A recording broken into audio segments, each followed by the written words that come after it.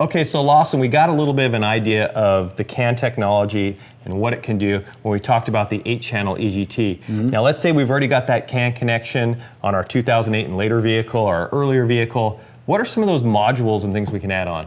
One of the things that might surprise you if you have our X Series wideband is that you've already got a CAN output in your car and, and, may not have even known it. We provide for that on the harness. So on your harness, you have these two twisted wires. We tend to make them white and green. You can always identify CAN wiring because it requires, at minimum, one twist of the wire per inch. And you can put a DTM connector on this and actually send that data to your dash. But I know there's some people saying, okay, cool, like I want Lambda, I want AFR, mm-hmm. and I definitely want to get a dash, but what do I need a gauge for? Mm-hmm, mm-hmm. Uh, we got a solution for that too. Okay. Uh, this is our inline X Series wideband controller. Has all the same features, fastest response time in the industry, all of that stuff, which you guys tested. Yep, yep, yep. That was fun. and it also has the twisted wires for CAN output. Well, very cool. So getting that AFR uh, into the CAN bus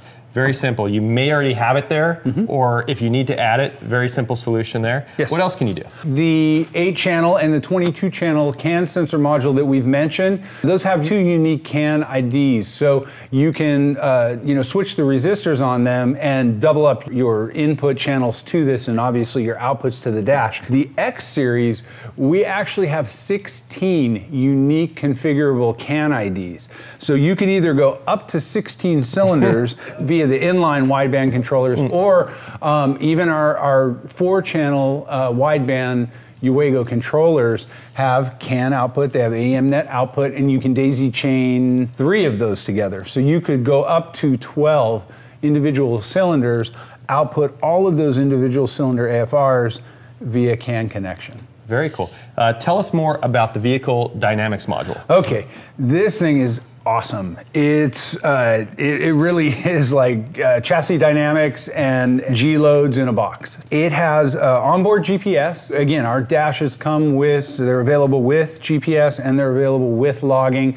Uh, but if you wanted to add chassis dynamics, a great option would be to get your logging dash, assuming that you want logging, and opt out of the GPS, mm. the onboard GPS for the dash, and then go with the vehicle dynamics module. Right. This is going to add your GPS. It's going to add your altitude heading, uh, GPS coordinates. It's also going to add uh, three axes of acceleration forces. So it's going to give you all your G loads, mm-hmm. and it's going to add a three axis gyroscope. So that's going to give you your roll, your pitch, your yaw. This was the first item I ever put on my vehicle that was a CAN interface. I was literally confused after I did it because I felt like I must be doing something wrong. It's, it's just too easy. Well, you should have been harder, right? it should have been a lot harder. I mean, yeah. I was done with this install in like seven, eight minutes. It's a really cool system and so easy to install. We provide some really heavy duty Velcro, which we recommend you use. It sticks. This thing is super light. as long as you point this side to the front of the vehicle, and you make sure it's pointing up,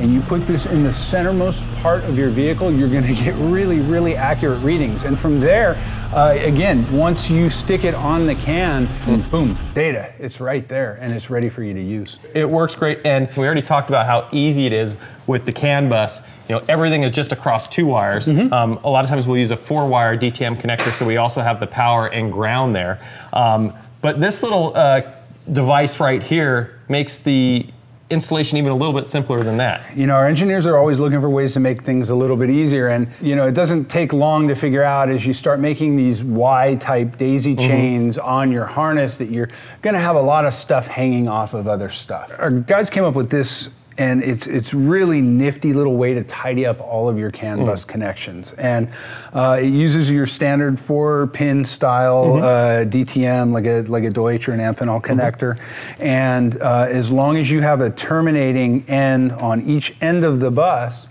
you can add three sets of inputs going to your digital dash display. You can actually do up to six because you can daisy chain two of these together. Um, to do that, obviously, you're going to require a jumper between the two modules, okay. which is why you can only go up to six.